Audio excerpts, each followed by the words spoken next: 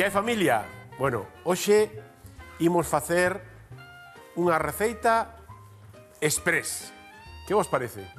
Imos facer unha receita pa cando tendes presa ou de repente que chegaron uns amigos e non sabedes que facer. Faltan vos ingredientes, pois vamos a solucionar. Neste caso, imos facer dúas receitas en unha. Por un lado, imos facer unha mm, tortilla express. Eh, por outro lado, para acompañala, vamos facer unhas tiriñas de peituga de, de polo, empanadas, e todo isto con patacas fritidas de bolsa. En Galiza temos moi boas patatas e temos empresas que fan con esa pataca unhas patatas fritidas de espetáculo. E hoxe vamos a usalas para facer a nosa tortilla e o rebozado o emparado desta peituga. Vamos a pedir a Rafa se si, si é quen de conseguirnos esa pataca de calidade de Galicia pero fritida e en bolsa. Rafa, serás capaz. Sí, señora, somos os do Estache Cancelo Estache nas redes sociais. Cancelo Estache E, e o sair cerreo. Oído en Xinzo de Limia, chef, provincia de Ourense. Aquí o reporteiro recadeiro, sempre o servizo do cociñeiro. E se queres patacas fritas, vouche levar unhas patacas fritas guais. Que sí, que sí, como cho digo, guais, e se non, estate atento. Eh, por certo, aí vai un, bueno, falando de, de patacas fritas que ben quedan con gin tonic, verdade, aínda que a esta hora non se poida falar de alcohol. Un gin tonic, outro día fixen un gin tonic e estiven remexendo, remexendo, botándolle cousas e ois, quedaronme unhas lentellas boísimas. Sí, sí, sí. Here come the hot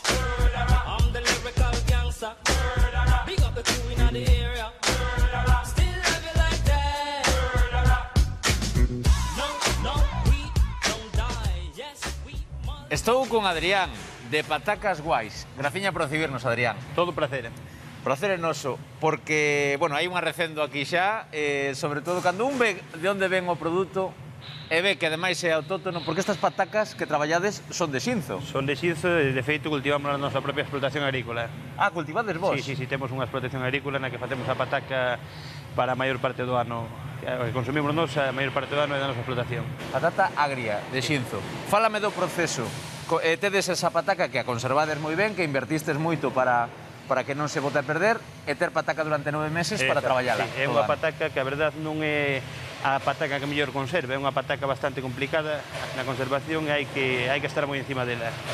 Eh, chegan aquí? Bueno, primeiro pasa por un, por un quitapedras que fai primeiro o lavado do que o produto que a casca, despois pelase nunha peladora de, de fricción que, bueno, funciona, leva pedra por debaixo, vai dando voltas e vai na rea soltando contra as paredes. unha lavadora, non? Exacto, é unha especie de, de lavadora con pedra. Sí. Despois hai, eh, eh, pasa por a cinta de inspección, Sí. onde se lle quitan os posibles defectos que lle podan quedar. A man, non? A Eh, exacto, compañeira sí, que sí, está é unha, unha señora cun cuchillo, vai lle quitando ali os, os Todo artesano. Sí, eh, sí, todo o máis artesano posible para manter a calidad, ao final fai falta personal, non? E a continuación, E a continuación pasan por un, por un último lavado, a pata, que é a pataca xa pelada. Despois dese lavado suben por unha cinta, van para as cortadoras, e cortanse e pasan para, para a freidora. Aí- Aí botan aí uns 5 minutos, máis ou menos, a unha temperatura media de, de uns 170 grados, Ajá. e despois pasan por un proceso de 35 segundos máis ou menos de escurrido, e pasan a, a solvar de, de enfriado. de enfriado. E de aí pasan a cinta de inspección, Que salado. e salado, claro, sí. Cinta de Vale. inspección, no final da cinta de inspección está o salado, e despois xa pasan as envasadas. Dime unha receita como che gusta a ti comer esta pataca. Pois as patacas hai moitas formas de xugalas. A, a tortilla de pataca da que falábamos fai un pouco, pois é unha boa opción para É que para Miguel xente. é moi fácil chegar á casa, botar cuatro huevos batilos, botar unha bolsa de patacas, quítase moi pouco tempo e non se fai tan caro como a comer fora e é un pouquiño máis... Sabes o que comes, polo menos. É que tortilla de patacas creo que vai a facer coas vosas patacas de calidade, eh? para unha receita rápida. A ver que fai Miguel, estaremos atentos a ver se aprendemos algo máis hoxe, non? Bueno, sí. Graciñas por, por atendernos. Nada. Eh, Placer vemos noutra. Exactamente. Gracias, compañeiro. Bueno, hoxe posme a proba facendo esta elaboración ou estas dúas elaboracións. E temos dúas patacas. Unha unha pataca fritida normal, con un punto de sal e na máis. Esta outra que temos cun un puntiño de picante, cunha chispiña, que esta é a que vamos a, a utilizar para o rebozado da peituga. Para comezar, a tortilla, unha ceboliña. Podemos, bueno, eh, a min eh, gústame a tortilla con cebola. É que, bueno, despois hai outra cousa parecida, pero eu son de tortilla con cebola. Non sei se si, si todos vos sodes de cebola ou non, pero, bueno, hai a quen lle gusta con, hai a quen lle gusta que, que teña o sabor, pero que non se note a cebola. Bueno, aí temos que xogar un pouco para quen vaya a, a ceboliña. Neste caso, eu coido que con media cebola me, me vai chegar. Vamos a picala ben picadiña, vamos a picala así en pequeniño, Vamos a poñer xa a tixola ao lume. E este caciño tamén que vai aquecendo o aceite para despois fritir a, a peituga. Engadimos de aquí un pouco de aceite de oliva. A mí me gusta sempre a, a tortilla facela con aceite de oliva. Hai moita xente que utiliza o aceite de xirasol ou de sementes, pero a mí me, me gusta máis co, co aceite de oliva. Vamos a picar a ceboliña, ah, picadiña, pero a mí gustame que se note tamén, que teña ese puntiño de, de cebola. Incluso moitas veces a pico directamente en xuliana, en tiras, e que, que se note ben polo, polo medio. Vamos a engadir aquí e que se vaya refogando a ceboliña pouquinho a pouco. Aí está. Moi ben. Vamos a engadirlle unha pelisca de sal. Aquí. Moi ben. E darlle unha voltiña así, para que se distribúa ben por toda a tixola. E aí a deixamos, pouquiño a pouco, que se vaya facendo. Nos, mentras tanto, vamos a apartar esta ceboliña. Aí está. Para a tortilla, moi sinxelo, como se si fose unha tortilla de patacas normal, solo que xa temos un paso adiantado, que sería o paso de fritir as patacas. Pois, neste caso, vamos a coller un cunco Moi ben, e outro as cáscaras. Vamos a botar os ovos. Neste caso, teño aproximadamente uns 150 gramos de patacas. Parece moitas, pero é algo que pesa moi pouquiño, non? Por iso temos por aí uns, sobre uns 150 gramos de patacas. E vamos a engadirlle, como os de sobos non son moi grandes, vamos a engadirlle sete oviños. Así, cachamos todos os ovos. E aquí o que vamos a facer agora Nesta mestura vamos a, a buscar a perfección. A perfección como? Pois cando fritimos nos patacas, cando partimos de unhas patacas en cru, pois eh, como as cortamos un pouco desiguais, unhas quedan máis finas que outras, cando as pochamos, cando as refogamos, pois eh, unhas quedan máis brandiñas e outras quedan máis crocantes. Pois vamos a buscarlle ese puntiño tamén a esta tortilla. E como vamos a, a facer? moi sinxelo. Vamos a, por aquí, un garfo, bater os ovos.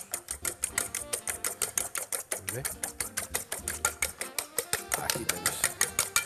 Moi ben, xa temos os ovos ben mesturados. As patacas, como vos decía, para buscar ese, esa textura, esas dúas texturas da pataca. Vamos a engadirlle aquí máis ou menos a mitad das patacas ou un poquinho máis. Ah, así. Esas outras deixámonos para o final.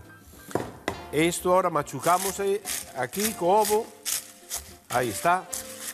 Fixadevos que non llevo tin nada de sal. Por qué? Porque esta pataca xa ten o seu punto de sal. Por lo tanto, non precisa que lle botemos o, o sal tamén.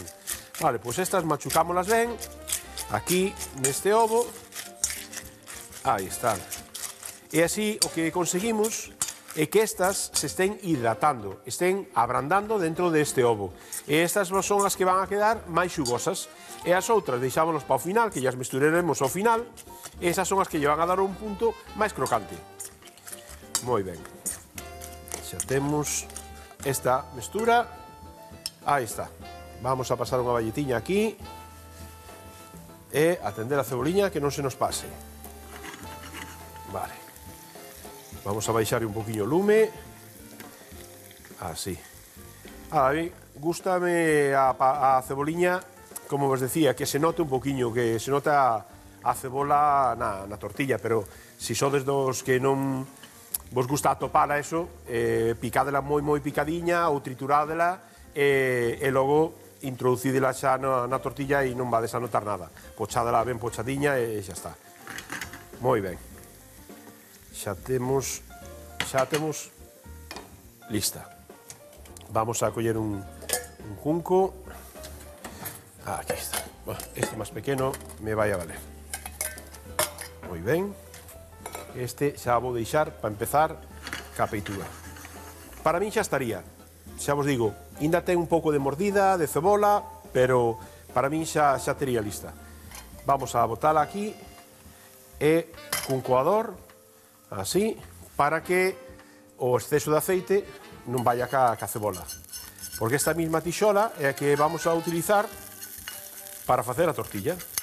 E xa temos o aceite tamén para botarlle aquí neste cunco. Así, moi ben. Esta cebola escurrímola ben e engadímola á tortilla. E vamos con el para lavar. Moi ben. Mirade, eh, mesturamos, xa esta patata se está hidratando, xa está reblandecendo, vale, agora co sabor da, da ceboliña, bueno, xa ten unha tortilla calquera que viña ve isto e pensa que é con pataca normal, con pataca fritida no momento. Moi ben, deixámola aquí esa outra pataca. Este aceite gardámolo. Vamos a telo aquí porque é o que vamos a utilizar para botar na tixola e facer a, a tortilla. Bueno, comezamos ca segunda elaboración. Peituga, peituga de polo. Neste caso, vamos imos a cortala en, en tiras. Podemos facer eh, cortala en anaquiños máis pequenos ou podemos cortala, a mí me gusta máis en tiras, eh, bueno, que sean así como un, como lle chaman os fingers de, de polo. Cortamos así en tiras. Estas tiras, si vemos que son moi longas, O que vou facer é cortalas á metade e así xa nos quedan deste xeito. Moi ben. Así, cortamos á metade. Moi ben. Aí temos. Esta igual lle damos outro corteciño así. Non queremos facelas moi grosas porque como é o rebozado empanado que lle vamos a dar xa é unha pataca, xa está fritida, e non queremos mm, dar unha cocción excesiva. Por eso, si non son moi grosos os, os anacos, vanse facer antes e non se nos vai a pasar a pataca que temos por fora. Aí está. Moi ben. E esta, casi sacamos unha tiriña. E esta a metade. Moi ben. Vamos a metela aquí neste cunco que temos aquí xa. Importante. Vamos a lavar o coitelo, o estar do polo é lavar as mans. Cando andemos co polo cru, sempre debemos de ter moita máis precaución, porque son produtos que é máis doado que teñen unha contaminación. Imos a botarlle un Veciño. pouquiño. Hola Isa, que tal? A ver, das patacas? Pois, Porque mira... Porque me entrou un antoxo de tortilla. Ai, bueno. Pois eu estou con tortilla. Pero non tiño no, patacas. Destas non das outras, claro, quería. O que pasa que non me apetecía nada ir á tenda, eh? Pois mira, eu hoxe, como non tiña outra cousa, e quería facer unha cena express porque van vir uns sí. amigos a cear, pois mira, unha tortilla con patacas fritidas de bolsa. Destas? E logo... E nunca tal cousa fixen, bueno, eh? Pero non só tortilla, nunca. que mira, sí. estou preparando unhas peitugas de polo para empanada agora e facer o empanado unhas peitugas fritidas, así tipo eses fingers, Ai, sí, sí, sí. Pero con patacas fritida E rebozada con eso? Oh, cun puntiño picante.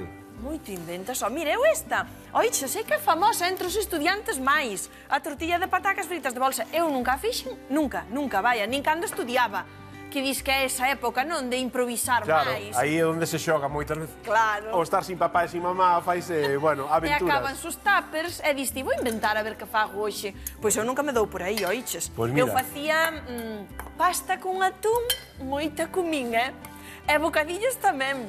Bueno, a verdade é que nos bocadillos eh, se pode inventar o que queiras, porque todo. un bocadillo para min é comparable cunha empanada e unha croqueta, que as podemos facer de calquer cousa. De calquera. É torrada, xa te dicía outro día. Ah, eu tamén torradas. penso que foi a época, aí investiguei e aprendín moito, porque todo lle queda ben. De claro. encima dun cacho de pan...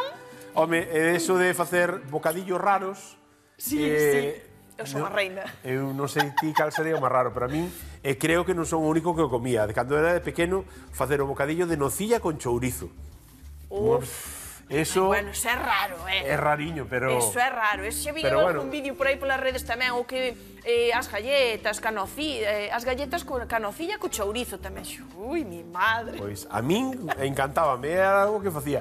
E as primeiras empanadas que facía eu, sí de aceitunas. Solamente unhas aceitunas. Na máis? Na máis. Na panadeira dos meus pais collía uns cachos de masa, collía unhas aceitunas, metía, tapaba e o forno. E o forno. Ti tiñas fame, oh, bueno, tiñas fame, dicías ti, calcara conseguir Pois eu, a verdad, que me gustaba moito experimentar tamén. E hoxe estamos aquí porque a cociña tamén se trata desto, se trata de, de xogar un pouco, de experimentar. E de facer. E logo, Pois mira, vamos a, a empanaros... Ui! Pero vou xa ter que dar máis, eh? Mira que... Mira que iba a comer, que te daras cuenta, non ves, non se pode facer nada mal. É eh, que de verdade, eh? Non hai maneira, mira que as teño contadas, eh? Despois non me van a chegar para tortilla. Non se nota. Va, ai, vai lle botar... Teño que ver se lle vais a ver ben aos teus invitados. Vai se lle notar un burato e voulle decir que foi a miña veciña que Aquí sacou pois aí unha, unha pataca. Eu cando estudiaba compartín piso e tiña unha compañeira, por eso, a ver, todos inventamos, é eh, que todos pasábamos por eso. Pero tiña unha compañeira que a miña pobre, mira, nin sabía ler as instruccións dos platos precociñados, oiches. Arre, carai. E dixo, ai, mi madre. Pois pues eso día... xa é, xa é... De verdade, dixo, igual, só hai que fixarse un pouquiño. Pois pues mira, vouche, mentras ti me contas, eu sí. vou ir preparando as patacas, eh? xa verás que, ah, vale, que divertidas. Vale. Vou coller unha bolsa, vale, unha destas que temos todos pola casa, eh? Sí. Unha bolsa de conxelar. Sí, sí, sí. Pois pues mira. Eu aprendo, é que eu fixo en todo, eres ah, pois no, no, copio. xa sei que ti eres bicha, eres bicha como un allo. O outro día fixen uns huevos poché Espectaculares me quedaron, Hombre, eh? Hombre, si eu xa sabía que outro día estabas te fixando moito, eh? Sí, sí, sí, Estabas ti, vamos. Pois pues eh... mira, a eh, rapaza esta fixenme unha gracia porque, a ver, non son desas cousas que che pasan mentre estudias e non olvidas. Home, Invitou, claro. gustaba un rapaciño, claro, que a todas, non? non. E vai a daquela, digo, invitou a fiar a casa. E estábamos ali os tres e diala, non, non, vos ide para o salón que xa faje un solo de cociñar, eh? E dixen, o miña pobre, a ver que vai facer, porque, bueno, eu non tiña moita idea, pero ela menos, eh? Bueno, e eu di... estou machacando con a man, porque teño unha man como un zapato. Pero bueno, vos na casa podedes utilizar un rodillo ou calquera outra cousa para... Ou as dúas mans. pois mira, elas que nós no sofá oits ali esperando, ela ruido, ruido, ruido na cociña. Nós mirábamos un pouco e dicíamos nós, madre mía, que estará facendo oíches? Non sabía o que tal estaba inventando. Que tal estaba inventando. Daí a un anaco, dino, xa, ah, xa está, xa podedes vir, xa podedes vir fiar. Entramos para a cociña e tiñanos nun plato un cacho de lasaña cada un. Pero unha lasaña así un pouco extraña, porque estaba toda ennegrecida por riba. E despois por dentro, crúa, o sea, conxelada. Ai, xelada ti fíxate. Ela quixo quedar ben e ao final non lle saleu. ben. De verdad, cortando e dime ela, veña, veña, comede, que refría. Eu miro por rapaz e dixo eu, ai, os invitados primeiro, eh? Home, claro, no, ti tamén eras boa, eh? Ti a pobre... Ai, de verdad. Quixo quedar ben e non lle saleu tan ben, pero bueno. Non se bueno, me olvida mira, a cara, eh? Fíxate Ai, moi ben. Que, que ben nos queda é como se si fose un pan relado, un poquinho grosso. Sí. Vale, déxame tirar isto no lixo. Eu isto fixo un día Cos Mira, cereais, eses claro, tamén. cos cereais, no, cos eh? quelos tamén sí. podes, podes utilizar. É moi sinxelo, porque agora, se si me axudas, se si me botas sí. unha man, a ver. pois mira, temos a peituga. Douche nas mans, eh? No, no. Xa che vou a sacar de, de diante, xa che vou a sacar isto. Porque xa me das medo. Vale, veña, non probo máis. Mira, temos, por unha parte, ovo. Sí. Temos a fariña e temos a pataca fritida vale. co toque picante. Veño dali pa aquí. Claro, por iso che poño en orden. Facemos, metemos na fariña, así. Vale, despois da fariña, pasámoslo polo ovo. Damos unha voltiña no ovo. Despois pa este. E agora pues botámola... Lavas mans un pouco. Que Lava no mans, sí, vale. é importante que... E ademais, sobre todo, cando andamos con polo, pois é importante. Sí. E agora aquí, simplemente, lle damos así unha voltiña e xa queda completamente... A ver. Mira, non ah, miras que non temos aquí. Ui, ui, ui. Isto vale fritir ou vale? Isto vámoslo fritir. Ah, vale. E dicir, vai fritir, pero podría ir ao forno, non tamén? Tamén os podemos facer ao forno. E a mí me gusta máis e queda Fri. moito mellor fritido. Crocante, pero po podeíamos facelo e metelo no, no forno tamén. Ten pintaza, eh? É donde os poño. Dame Ahora che vou a dar non? un bol para que os metas aí. Ah, moi ben. Vas botando aí e así vamos tendo. Eu vou facer a tortilla. Home, a ver, con isto triunfas hoxe, Mira, eh? A masa tortilla buscamos a perfección. Sí. Vai a ter dúas texturas a pataca. Por un lado, xa temos aquí que xa, xa metemos aquí, xa hai un ratiño, para que vaya abrandando, e esta vai ser como a patata que, queden, que queda blandiña. Sí. Estas botamos ao final, ah, e dai o punto crocante desa pataca que queda máis fritida e que queda crocante. Que che parece? Mira pa aí. Oh. Home, aquí facémolo para que... No, eu non lle vou contar nada, eh? Bueno, Para que les non sepan nada hasta o final. Despois sí. conto yo o final. Pois Se mira. che sobra, jardarásma, eh? A min pa mañán, que eu tamén a como fría, dame igual. Ai, a min tamén a tortilla é desas cousas que me encanta fría, eh? Xa non digo cando chejabas de festa. Un día a casa había un cacho de tortilla que eso era... Como sabía eso? Gloria bendita, total. Bueno, pois pues mira, nada, botámoslle deste mismo aceite que tiñamos. Aí está. De facer a cebola. Ti gusta a tortilla con cebola ou sin cebola? Pois das dúas maneiras, eh? O que pasa é que, mira, fai tanto que non como con cebola. O outro día fixo a miña nai. Oiche, se dixen que dixen, oh, mira, esta me sabe rara. Ah, Facía arre. Eh? moito tempo que non comía pois con cebola. Eu, eu a min... A ver, tamén a como sin cebola, pero a min a tortilla ten que levar cebola. Sí? Sí, eu son dos que ten ah. que levar cebola. Eu xa como ora pola cativa, bueno, non lle gusta ela ca bueno. cebola, e daquela sempre facemos sin. E xa estou máis acostumada a sin. Pois nada, botamos aquí na tixola, sabes, como unha Como unha tortilla normal, eh? Sí. Bueno, ah, isto teño que probalo eu, eh? Non sei se Ai, saberá algo, esa chamame moita atención, eh? Pois, mira, damos unhas voltiñas para que faga... E este empece tamén. a callar o ovo. Aí está. E agora xa que colla a forma da tortilla. Esta é a versión rápida. A ver, ui... que me Esta é a caí. versión rápida. Digo, claro, se non te... O sea, cando tes presa, non? E tes aí un paquetiño Claro. na, na despensa. E con isto, de maravilla. Temos, e agora como facer unha tortilla normal. Vou coller un platiño para darlle a volta. Aquí temos. E vou aproveitar a pasar unha vaditiña que temos isto. Xa sabes pois, que a mí me gusta moito. Oh, pero xa limpo eu despois caiume un pa fora. Bueno, non, non pasa nada. ir pa dentro. Non pasa nada. Permíteme botar isto no lixo. Aí estamos. Biches. Pero que, mira que boa pinta teñen, eh? Sí, sí, sí, totalmente. Eh? Xa verá, isto a tua nena eh, vai encantar. Estaba pensando agora mesmo. Dixo, vai encantar. Xa xa copio eu, eh? E ti a tortilla queres de desta que ten o ovo moi solto por dentro, así medio Ay, cru? Ai, sí, sí, sí, sí, eu son de Betanzos. Ah, bueno. Sí, sí, sí, eu son da tortilla de Betanzos aí que... A mí eh, tamén me gusta, pero prefiera que este un poquinho máis callada. Non me sí. gusta que cando a cortes que se solte todo ese ovo, non me gusta tanto. Son máis de, de que este non seca, porque tamén unha tortilla seca tampouco... Claro. Pero sí que este un poquinho máis máis calladiña. Xa teño aquí tamén o aceite a aquecer para... Para isto, non? Para as peitugas. É que eu eh, estaba mirando e dixen, oh, pois non ten outra tixola, a ver onde fai isto. Non, pero fago no cazo, porque así voto, aproveito a botar menos aceite e un poquinho máis alto. Claro. E así frítese moito mellor. Pois sí, sabes? a verdade que pois, sí. Mira, vouche contar unha anécdota que teño tamén dese, desa época de cando facíamos Des... cosas cos amigos. Bueno, bueno, bueno, bueno. Teño unha que hasta me dá vergonza contala, con meu amigo Patricio. Os, son, os pais son argentinos. Sí. En eso que marcharon de vacacións a Argentina. E marcharon por un mes. Sí. Claro, imagínate. Nós, os amigos, no piso vacío, oh, valeiro para nós Pois eu fun de gallito, fun a facer uns paspallás, que a min me salían os paspallás, tanto na parrilla como no forno, me salían de medo. Claro, porque ti xa lle dabas á cociña. Sí, a eu xa me gustaba. Sí. Uh, eh, eh, que pas, le vin os paspallás, e eh, o forno que tiñera ali, bueno, era un forno, un forno raro que eu nunca vira un forno tan pequeno, sí. era un microondas. Eu nunca cociñara en microondas, metín os paspallás, ali eu botinlle aceite, allo, pirixel, botinlle... Eh, prepareinos aquilo como se fose o forno. E claro, metino no microondas e eu puxinlle 35 minutos, como se fose no forno. forno. Mi madriña. Aos 15 minutos empezou a cheirar a casa, a cociña chea de fume. Bueno, bueno, e bueno. quedaron os paspallás pejados no plato, que aquelo parecía un cuadro de Dalí. Bueno, aquelo. Pero o peor foi que un mes despois, cando chegaron os pais, o piso ainda cheiraba como o primer día.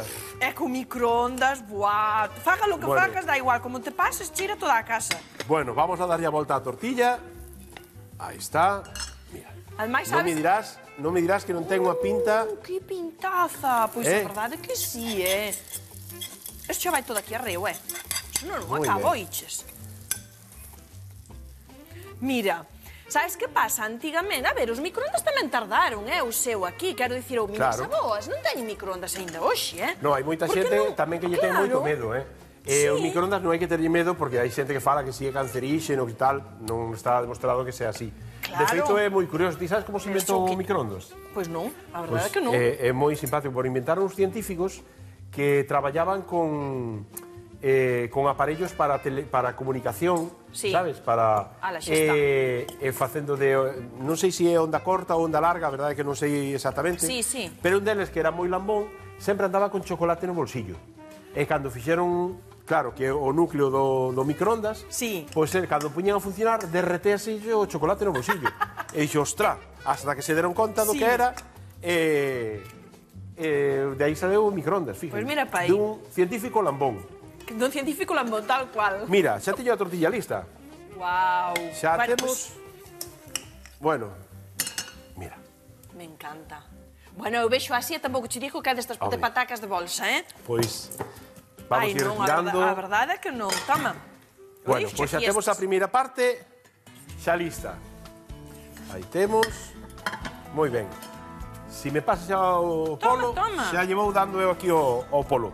Agora sí que é importante que o te, a temperatura do, do aceite este alta para que eh, o fritilo que colla ben o crocante por claro. fora. Ah, moi ben, fantástico. Ala, deixe está aquí. Moi ben. Nada, non te preocupes que esas... Si me achegas un platiño ti de sí. atrás, pois... A ver. Aí xa, xa eso. Vamos fretindo pouquiño a pouco, non enchemos o cazo con moitos anacos, porque senón vai nos baixar a temperatura do aceite. O que, o que precisamos é que o aceite este ben quente para que se vaya facendo o polo, colla esa capa crocante por fora e se vaya facendo, pero que quede xugoso por dentro. Se o temos moi baixo, vai seros a resecar moito a peituga. Moi ben. Pois xa está, xa acabei con estes tamén, eh? xa chos deixo aquí. Xa temos... Pois mira, mira, mira que pinta... Buah, isto, eu digo che que a tua nena vai aplaudir cas orellas pois, cando fagas algo sí. desto. E ti triunfas hoxe, xa xo digo. Pois. O que escoitei a festa, ainda i baixar, oiches. Bueno, pois pues non te preocupes que... A ver, é un, unha xuntanza de amigos onde tens que solucionar. Sí. E como me faltaban patacas tamén, pois ao final dixen, Moi mira... Ben. Bueno, pois eu vou atender agora daquela. Moi ben, pois veña, despois, despois se queres vais a probar ou levaría uns poucos para a nena. Vale, vale. Perfecto. Veña, veña hasta agora, Miguel. Bueno, pois xa vedes, xa temos todo en marcha. Somente me queda eh, terminar de fritir estas peitugas e eh, xa temos todo listo.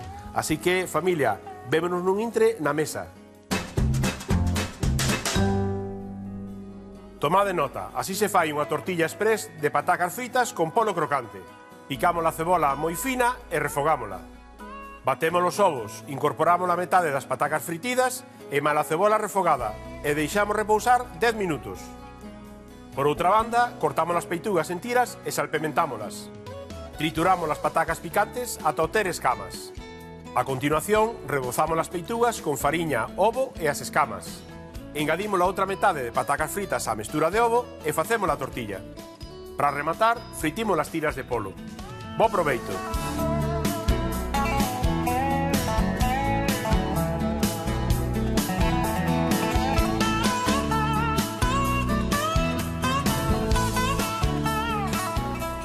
Familia, xa vedes que dúas receitas nos marcamos hoxe cun produto tan sinxelo, pero bo e saboroso, cunhas patacas fritidas de bolsa.